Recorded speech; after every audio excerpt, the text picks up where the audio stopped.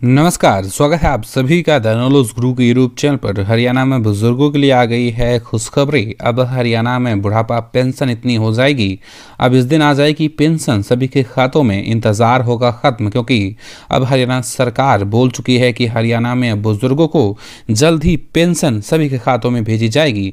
चाहे हरियाणा के बुज़ुर्ग हो, विधवा हो, चाहे दिव्यांग, कोई भी हो, जिन लोगों को ये सामाजिक सुरक्षा के तहत पेंशन सभी के खातों में भेजी जाती है, उनको जल्द ही इस योजना के तहत यहाँ पर बुढ़ापा पेंशन कह सकते हैं सामाजिक सुरक्षा पेंशन के तहत आपको सभी को पैसे मिलना शुरू होंगे। ये कब मिलना शुरू होंगे?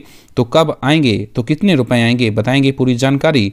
तो चलिए वीडियो को शुरू करते हैं। अगर आपने अभी तक चैनल को सब्सक्राइब नहीं किया है, चैनल को भी सब्सक्राइब ज़रूर कर लें। तो आपको बता दें, हरियाणा में बुज़ुर्गों को अब तीन हज़ार रुपये दिए जाएँगे। जनवरी माह की पेंशन अब फरवरी माह में आने वाली है। तो इस बार की जो पेंशन है, आपकी तीन हज़ार रुपये दिए जाएँगे। इन सभी के खातों में तीन हज़ार रुपये भेजे जाएँगे और वहीं आपको बता दें, यह पेंशन कब तक जारी होगी? तो यह पेंशन, वैसे तो हर दस तारीख को पेंशन जारी होती है, लेकिन रविवार होने की वजह से और शनिवार होने की वजह से पेंशन नहीं जारी होगी। तो ये बड़ी अपडेट है, यह पेंशन आपकी बारह या तेरह फरवरी को सभी के खातों में जारी हो सकती है। इस बार की पेंशन तीन हज़ार रुपये आएगी, बड़ी खबर है। लगातार जानकारी के लिए चैनल को सब्सक्राइब करें। जैसे ही आपकी पेंशन की अपडेट आएगी, हम आपको वीडियो के माध्यम से जानकारी दे देंगे।